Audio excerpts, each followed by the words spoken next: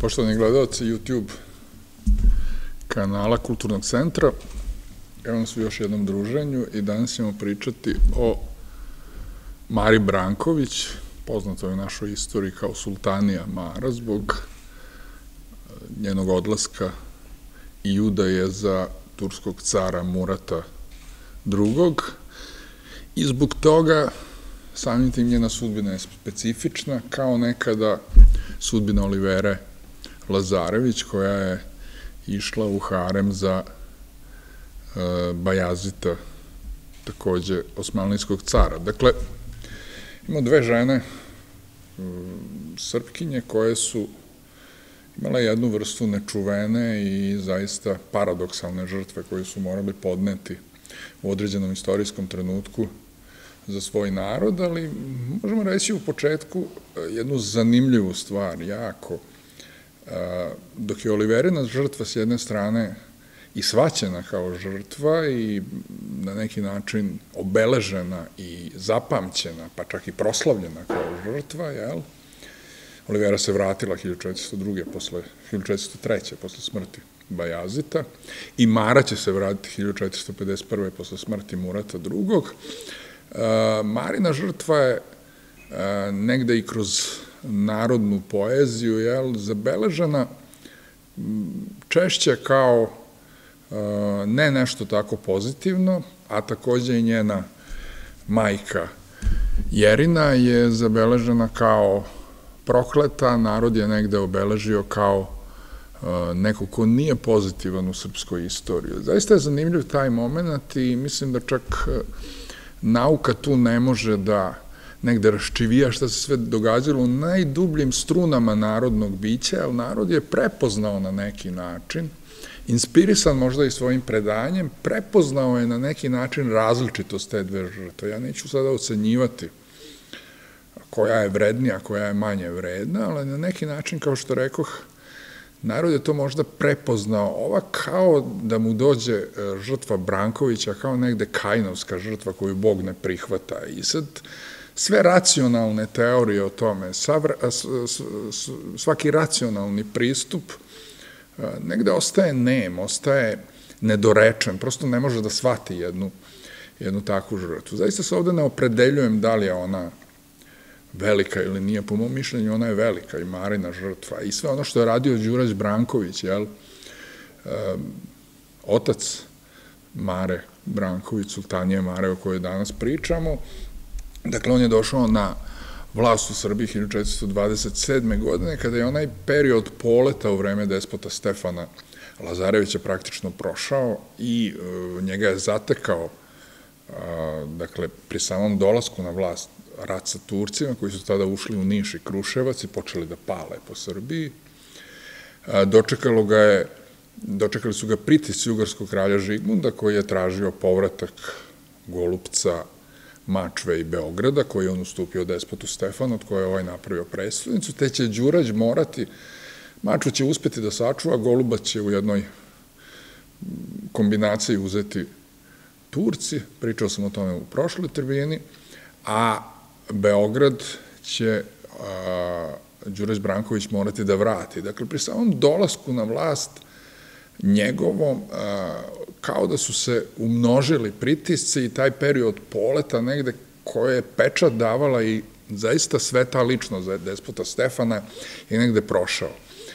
I Brankovići praktično do 1459. godina Đurađ vlada skoro ceo taj period do 1456. godine, onda će mu vladati sinovi Lazar i Stefan vrlo kratko, na kraju Stefan Tomašević, to će biti 1459. godina, konačni kraj despotovine, ali ceo taj period je negde obeležen uh, jednim momentom uh, gde se otkriva utisak neke, neke vrste uzaludne borbe, jel?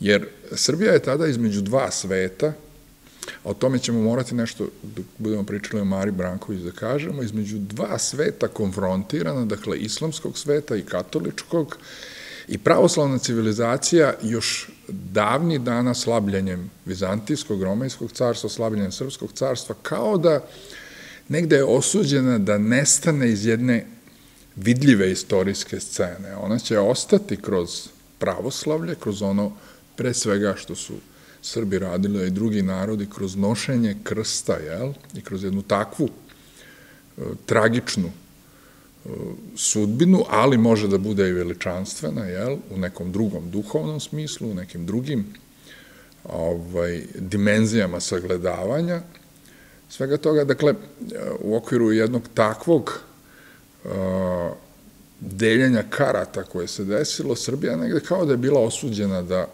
nestane i čitav pravoslavni svet, da, da potone iz jednog vidljivog, vidljivog dela istorije. Naravno, ne potpuno da potone, jer će pravoslavni narodi opet igrati nekakvu ulogu, pogotovo srpski narod koji će sačuvati svoju kompaktnost preko sve, pre svega Pećke patrijašije, Srpske pravoslavne crkve, ali će izgubiti državu, izgubit će onaj značaj koji je imao dakle, u srednjem veku, pogotovo u vreme jačanja kralja Milutina, Stefana Dečanskog, cara Uroša i tako dalje, dakle, tokom 14. veka.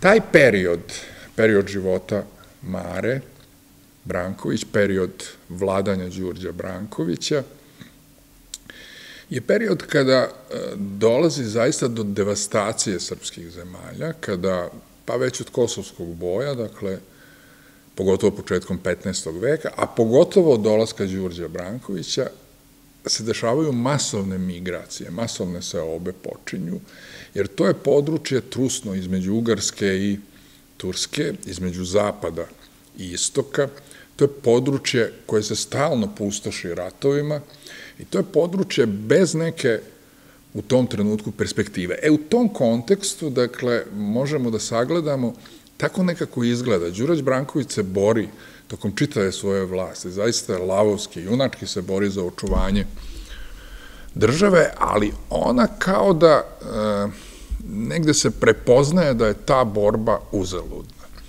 Jer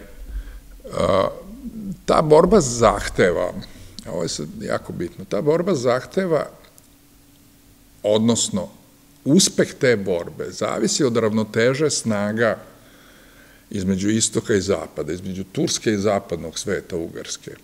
Dakle, bilo ko da nadvlada, bilo ko da ojača, da li zapad, da li istok, Srbija negde gubi samostalnost. To će se pokazati u ratovima 1439. kad je Srbija izgubila nezavisnost, pa 1444. godine kada ju je obnovila. Posle duge vojne, dakle, kada su krstaši upali sa kraljem Vladislavom, Jankom Hunjadijem i despotom Đurđem, kada su izvojevali odlučne pobede, na zapadu je bilo e, jako raspoloženje da se ti ratovi nastave. Međutim, pošto je Murat, a to sada već preko Mare uputio dakle, e, izaslanstvo Đurđu, i to preko jednog kaluđera koji išao od Dubrovnik pa u Splita, onda je Ugarsko našao Đurđa, dakle, pošto uputio e, praktično ponudu za mir i za obnovljenje despotovine, Đurac se okreće sada od svojih zapadnih saveznika, a okreće se zato što on zna vrlo dobro da on pomoću njih ne može obnoviti u bukvalnom smislu nezavisnu pravoslavnu srpsku državu, kakva je tada bila, jer recimo tada je došlo do uh, sklapanja ili pokušaja sklapanja Unije u Ferrari i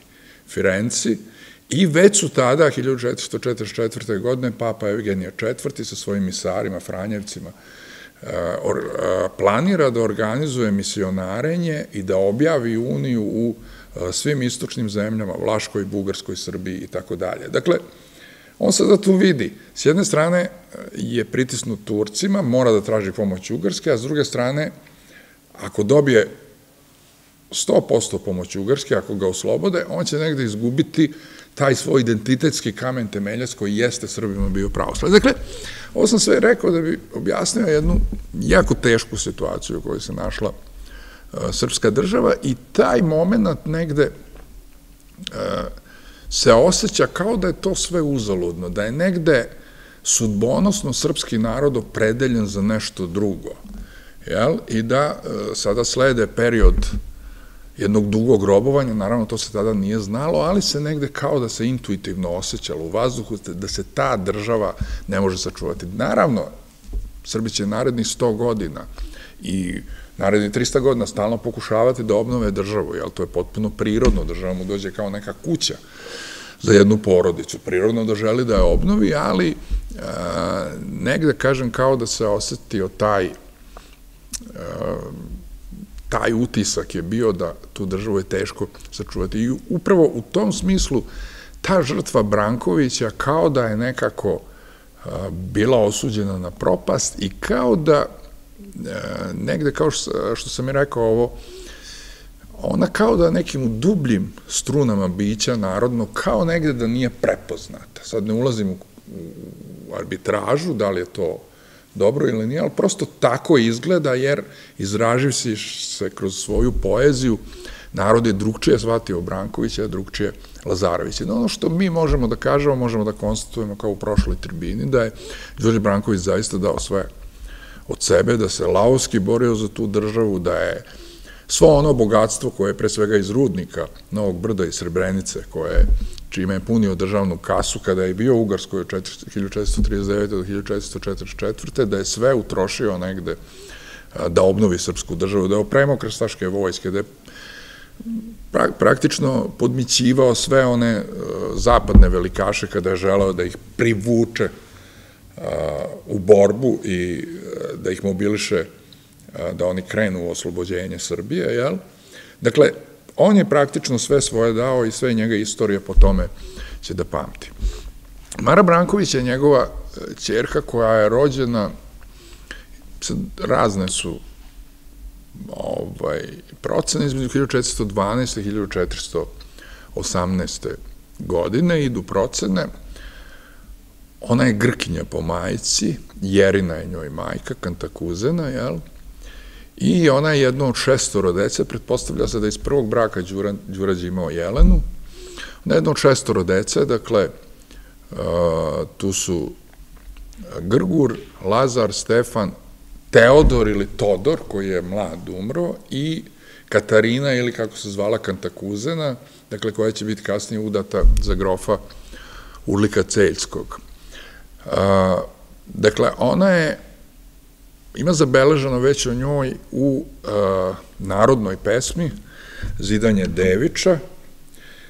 Znači, ona je pod predanju narodnom, a jako je bitno reći i u žitiju svetog Joannikija postoji uh, Devičkog, postoji uh, jedan pasus gde se govori, dakle, da je čerka despota Đurđa bolovala i da je sveti Joannike svojim molitvama iscelio. Dakle, vrlo, vrlo verovatno da je ona stvarno bila bolesna, ne zna se tačno od čega, da ona stvarno kao mlada bila bolesna i to je ovekovečeno, dakle, u narodnoj pesmi, kaže, razbolje se čerka jedinica, gospodara, Smederevca Đura, po imenu Lijepa Marija, bolovala sedam godina dana, niti umire, niti joj lakše biva, niti spava, niti što govori, nego trepti kao list na gori. Mnogo Đura poarčio blaga, kao svaki otac, jel, pokušao da je izleci, sve tražeći po zemlji vidare, čak iz Beča i zemlje Njemačke i mađarske zemlje ponosite, ali mu niko ćercu ne, izvad, ne izvida, no ostade kao što je bila, bolujući i muke mučeći. Jedno jutro Đura podranio, baš ujutru u svetu neđelju, omio se i Bogu molio, nešto kliknu s brda, Godomina, klikujući ovako bjesedilo gospodaru Smederevče Đuro, na tvom babu ostala je kletva što izdada na Kosovu carstvo i za baba ostala na tebe i na tvome koljenu, zato tvoju, tvoja čerca, čerka muke muči. A, to je ovo što sam pričao o tom jednom doživljaju narodnom, u nekim, opet kažem, najtananijim odajama narodnog bića, gde o, mislim, ovo ne treba da shvatimo u nekom pozitivističkom smislu, ovo nisu činjenice, ovo je jedan doživljaj, osjećaj, i on se prenosi, dakle, kroz narodnu poeziju i sad se povezuje, dakle, sa čitavom tom kletvom na Brankovića prenosi se priča i o Mari. Pošto ovo ima zapisano i u žitiju Svetog Joannikija, ovo je najvero, vrlo verovatno, mogu da verujem da, ovo, da ona stvarno bila bolesna i da se ona izlečila molitvama Svetog Joanike, a pesma dalje kaže da je Sveti Joanike rekao Đurđu da se pokaje, da se ispovedi i da će mu čerka biti izlečena i tako se i desilo. Crkvicu koju je napravio Joannikije, posle upokojenja Joannikija, tu je Đurađ napravio i dao velike priloge za manastir i on je praktično ktitor manastira Devića, jel?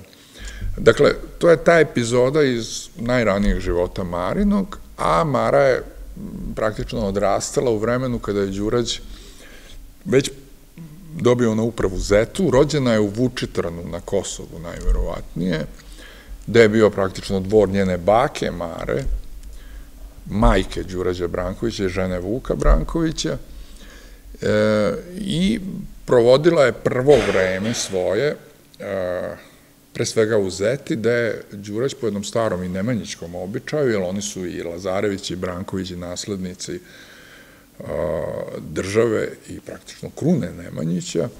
Dakle, da je on boravio kao savladar svoga strica, despota Stefana. Stricima da su bili sličnih godina.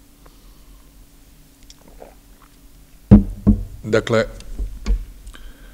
Mara je tu odrastala i kao što sam rekao, posle smrti despota Stefana, pošto je Đurađ došao u velike neprilike, on je morao da e, praktično amortizuje ugarsku pretnju s jedne strane, ali morao je da amortizuje i tursku pretnju i sve to u ambijentu gde je narod poprilično rezigniran, gde je stalno izložen napadima i gde počinju velike, velike seobe.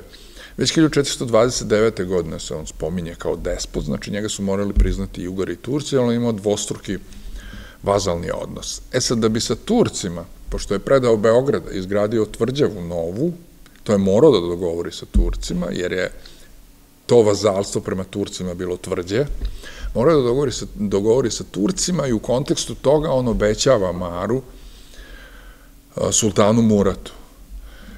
Mara je obećana, kažu, oko 1432. treće godine, kada počinje Smederevska tvrđava da se gradi i sve ono što ide u Smederevsku tvrđavu i narodna poezija kako karakteriše Jerinu, zašto su tu i Grci bili e, projektanti te tvrđave i oni su negde bili e, ta garnitura koja je izvodila te radove, upravna garnitura, tako da se izrazim.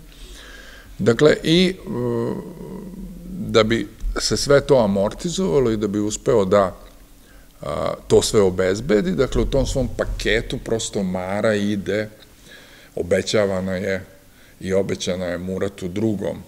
1435. godine je došlo do svadbe, sad imaju različite izvore, neki govore da je bila velika svadba, neki da nije, no nije to toliko bitno, Bitno je da su Turci došli po Maru, 1635, ona tad možda ima 17-18 godina, i da su nju pratili braća Stefan i Grgur, dakle u Harem Bajazitov, i da ona bila u Jedrenu, posle u Bursi, i kasnije se vratila u Jedrene i tako dalje. No, bilo kako bilo, ona je morala da ode u Harem, gde je bilo mnoštvo konkubina, žena i tako dalje Murata drugog i morala je tu prosto da se snađe. Međutim, šta je bitno kod nje? Ona je žena koja je bila izuzetno obrazovana, ona je na dvoru dobila veliko obrazovanje. Kaže da su deca Đurđe učili uh, grčki, latinski, mađarski, tu je susedna ugarska, najverovatnije i nemački. Jel? Dakle, Ona je za ono vreme jedna izuzetno obrazovana žena. Ona je pripadnik jedne aristokratije, koja nije baš od juče. I Branković i Branković kao porodica traju već 100 godina, ali kad dodamo na tome da se na to nadovezali Branković i na Lazarevića i na Nemanjića, znači to je jedan dug kontinuitet i obrazovanja i duhovnosti i uh, etabliranosti srpske aristokratije, srpske tadašnje elite u jedan čitav, dakle, širi evropski kontekst. Dakle, u tom nekom smislu Mara je izuzetno obrazovana žena i ona je praktično na, u haremu Murata II. verovatno najobrazovanija žena. Recimo, majka uh, Mehmeda II. koji će naslediti 1451. godine. Murata je jedna obična robinja, tako su se Turci i trudili da sinovi naslednici im budu turski sultani, da im sinovi naslednici budu od robinja, da ne bi tu došlo, dolazilo do nekih dinastičkih pitanja i a, nepoznanica, jel?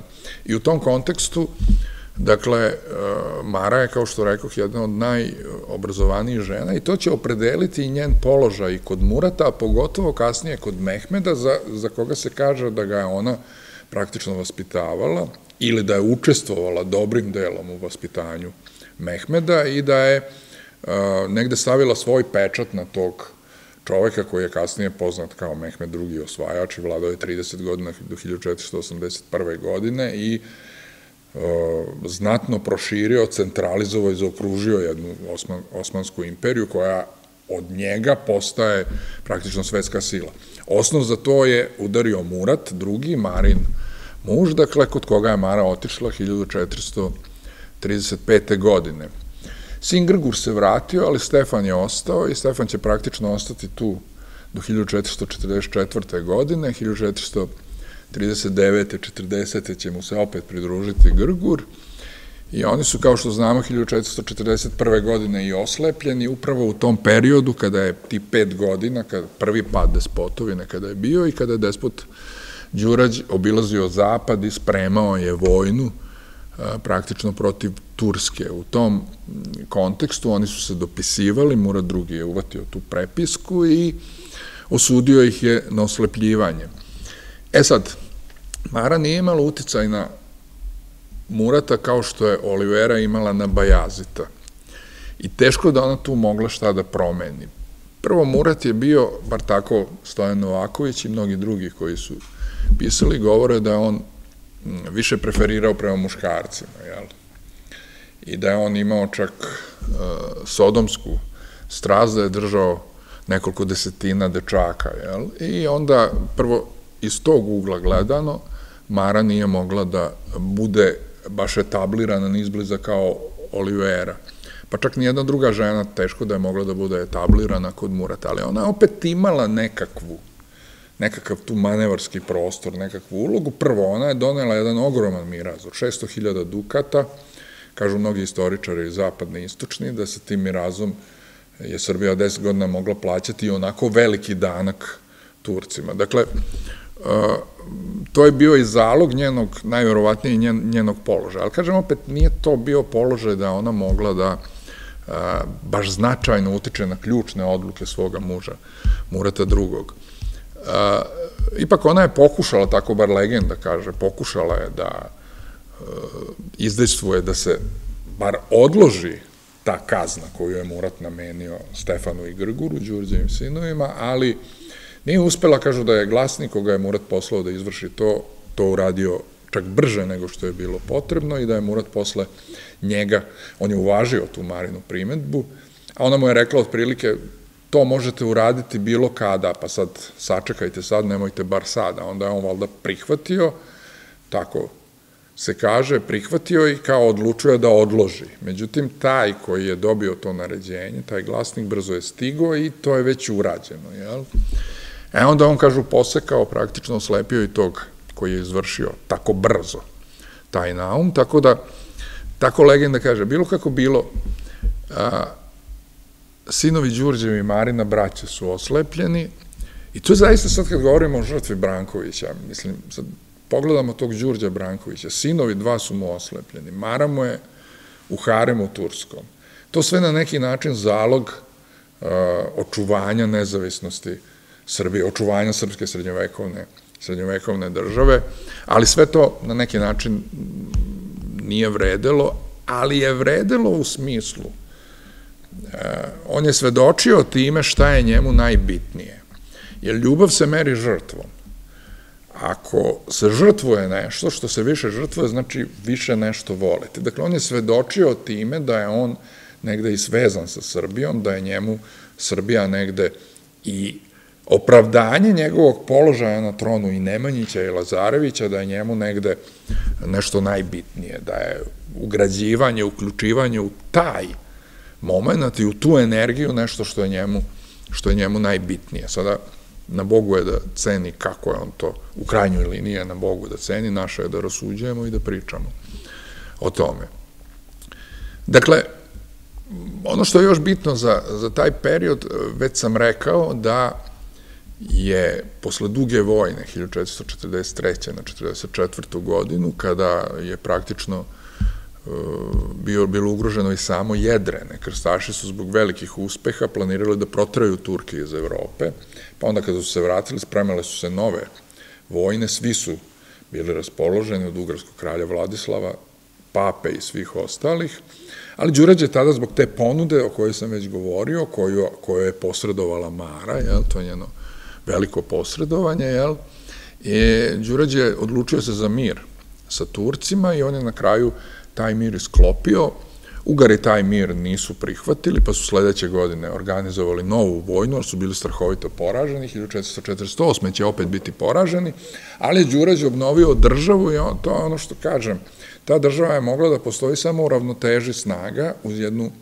maksimalno fleksibilnu politiku i razumevanje jednog momenta, ostalom to je naša sudbina i kasnijih vekova pa i danas. Dakle, u, u jednom balansiranju između istoka i zapada, a i to do nekog određenog, određenog trenutka. Dakle, Đurađ je obnovio ovaj, državu, a e, vraćeni su mu sinovi, to je možda najpotresniji trenutak kada je vidio oslepljene sinove kako ne mogu da mu priđu, kako praktično hodaju u skladu sa tim, prosto ne vide, jel? Ovaj, I to je možda najpotresniji trenutak za Đurđa bio, ali uh, on je nastavio u tom jednom kontekstu da radi do svoje smrti 1456. godine. 1451. godine je umro Murad II. On je pre toga dao presto svome sinu, pa se vratio i pogotovo 1448. godine, kada je opet krstaška vojska upala, pa ih je porazio na Kosovu, pod vojstvom Hunjadijeve. Dakle, e, ali 1451. godine umro u 47. godine života, Mara možda tada ima 30, 32, 3 godine, dakle ona je još uvek mlada žena i otuda će ona imati dalje prosaca. Međutim, Kako se govori u mnogim istorijskim izvorima, u mnogim legendama, Mara je tada rekla da se neće više udavati i ona praktično, mi vidimo da se ona nije više udavala i pored toga što uh, je jedan češki velikaš uh, bio zainteresovan i što je vizantijski car poslednji Konstantin 11. Uh, bio zainteresovan za taj brak, verovatno iz političkih razloga, možda da amortizuje Mehmeda koji je praktično sklopivši mir sa svim okolnim narodima, već od 1452. godine se sprema za pohod na Carigrad i kao što znamo, krunisaće tu jednu dugodecenijsku s, s pauzama manjim ili većim tursku opsadu Carigrada, 1453. godine će ga osvojiti. Dakle, Mara nije pristala ni na tu udaju, a prisustvovala je praktično ona 1451. godine, ona se vraća u Srbiju, Mehmed, njen posinak, joj daje dozvolu da se vrati u Srbiju, čak i vraća miraz njen, a Toplica i Dubočica su prostori koje je Mara uh, odnela u svoj miraz 1435. godine. Dakle, ona je vraća i miraz i ona zaista uh, doživljava jedan ozbiljan ugled i u Srbiji kao carica, tako i zovu, jer ona je sultanija, što bi bilo carica, ona je poznata i na zapadu i ona je ima uporište u Turskoj, koliko god da je ona imala uporište kada je bio muž sultan Murad II, toliko možda još veće uporište ima kada je bio Mehmed II, dakle njen posina, kada je postao sultan, I to će sada koristiti sve strane praktično, i Srbija i Venecija pre svega, u vreme Tursko-Mletačkog rata 1463. 79. godine, dakle, i to će koristiti, dakle, Murat je već koristio 1444. godine, kada je njenim posredništvom, dakle, uputio i došao do Đurđa, jer mu je tad u tom trenutku preko potreban bio mir. Dakle, to će sada sve strane koristiti, Mara će igrati praktično tu ulogu, pogotovo posle smrti svoga oca, a dotle će e, praktično njenim zalaganjem ili dobrim delom i njenim udelom biti ona izdejstvovati da se iz Turske prenesu i one će biti prenete 1452. 53. godine mošti svetog Luke i evanđeliste kojeg danas slavimo, dakle, bit će prenete i one ćete ubiti u Tursko jedno vreme, kasnije će, kako Turci budu nadirali, premešati se u Bosnu, a kasnije, kasnije i na zapad. A, tako da ona boravi u Srbiji do 1456. pa čak i 57. godine, međutim, posle smrti Đurđa nestala je ta jedna snažna ličnost. Srbija je zaista već posle 1452. treće, četvrte godine, kada Mehmed obnavlja napade i uzima Novo Brdo, a, na kratko, ali s jedne strane on je prepolovio despotovinu, od one despotovine koja je postojala, ostavilo je pola Đurđu Brankoviću, što znači da se negde država topila i da se videlo da ona ne može, ne može da ostane. Konačno će 1455. Mehmed II. uzeti, uzeti Novo Brdo, a, a Đurađ, kada je umro 1456. godine, dakle država već u jednoj nemogućoj situaciji, još je izgubila jednog čoveka koji je integrisao, koji je bio izuzetno jak čovek i koji je mogao da integriše tu vlast i da to nekako funkcioniše. Sada se ta njegova loza praktično podelila na turkofilsku struju i ugarsku struju i Mara je više bila u turkofilskoj struji i kao takva je morala već 1457. godine da ide iz Srbije. Nju je dočekao Mehmed, dao je posinak, dao je oblast kod Sera u Ježevu je živela, tu su praktično, to je zemlja svetogorskih manastira i ona će, pogotovo 1459. godine, se stalno nastaniti tu i do svoje smrti 1487. godine ona će biti u Ježevu i ona će u tom periodu, osim diplomatskih poduhvata koje će imati, koje će činiti za mnoge, ona će prosto imati jednu vrstu i kancelarija gde će svi svraćati u njen dvor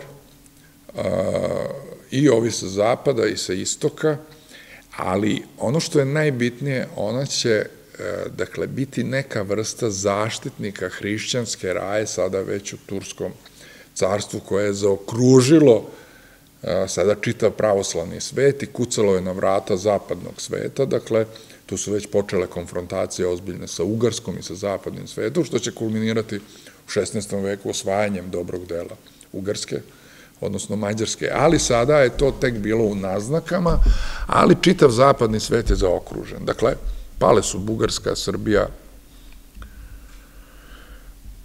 Romejsko carstvo, dakle, koje je obuhvatilo predele Grčke, Male Azije i tako dalje. Sve se to našlo u okviru Turskog carstva i u jednom šarijatskom turskom sistemu islamskog.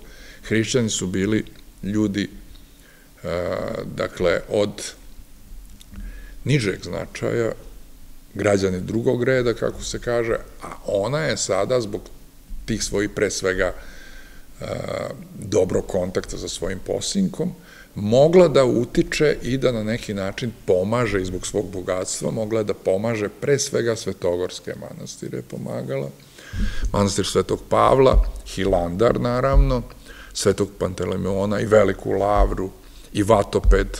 Dakle, svi ti manastiri su negde bili i to se vidi u poveljama koje ona izdavala Hilandaru i manastiru Svetog Pavla. Pre svega, dakle, vidi se e, koliko je njen udeo u tome i koliko je ona e, konstantno, pogotovo te stare pravne obaveze koje su, recimo, Dubrovčani su imali tako, takozvani stonski dohodak ustanovljen još u vreme cara Dušana, da isplaćuju manastirima na Svetoj gori, dakle imali su obavezu, međutim, posle pada despotovane su teli da prekinu tu obavezu, ali posredstvom Mehmeda Sultana, a to sve posredstvom Mare, on je prosto njih naterao da nastavljaju da plaćaju tu obavezu i oni će plaćati dok god Mara bude živa, pa čak će u nekoj varijanti i dalje plaćati. Dakle, u tom kontekstu ona je dakle, mo, bila ta jedna spona između hrišćanskih naroda, svih, čak najviše srpskog naravno, hrišćanskih svetinja, hrišćanske kulture, hrišćanske pravoslavne, mislim, civilizacije i svi ti gospodara, pre svega turskih, koji su sada gospodarili tom civilizacijom i tim narodima. I u tom smislu je njena, njena uloga velika. E, doselila se kasnije na njen dvor u Ježevu i njena sestra, kada je umro muž, Urlih, e, Katarina, jel? I njih dve su e, tada, dakle, zajednički radile na tome, na svemu što je Mara radila svo to vreme. Dakle, njen utica je jako veliki, kažu još jedna zanimljiva stvar, ona je 1470. godine krenula u manastir Svetog Pavla na Svetoj gori i ona je zakoračila na Svetu goru, ali tad je po legendi, po predanju, Bogorodica je rekla Maro tu stani i ona je stala i tu je podignuta kapela koja je postala do 1928. godine kasnije obnovljena, tako da ona uz na neki način ženu cara Dušana Jelenu, jedina žena koja je negde zakoračila na Svetu goru, mada će reći Kaluđer Svetogorski, tako sam bar čuo priču, legenda kaže da ni Jelena carica, ona je bila, ali je nošena, tako oni kažu, nije zakoračila na Svetu goru, tako da to je ovako jedna zanimljiva stvar. Bilo kako bilo, Mara je živela do 1487. godine, tada se upokojila, ona je nadživela i svoga posinka i čak je ušla u prvi period vladavine Bajazita II, koji je 1481. došao na vlast, dakle do 1487. godine je ona živela i to su neki poslednji trza i poslednji dakle, trenuci kada je u okviru Osmanlijske imperije pravoslavlje, svetogorski manastir i na neki način srpski narod imao jedan izdanak aristokratski i imao neku vrstu, neku vrstu zaštite, što su Mari obezbedile veze koje je imala dakle, na Turskom dvoru, pre svega. Kasnije će Srbija ući u jedan period kada neće više toga biti, jedan period dugog ropstva, ali će se i od strane Turske, e, od strane vrhova Turske shvatiti da je potrebno da se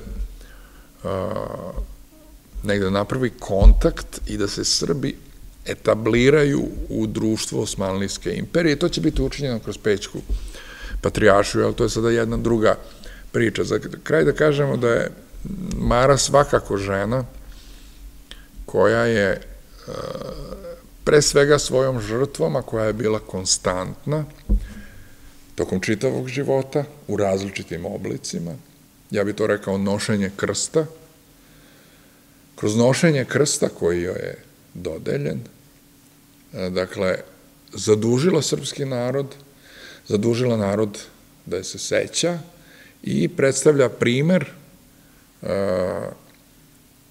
požutvovanosti tadašnje srpske srednjovekovne elite.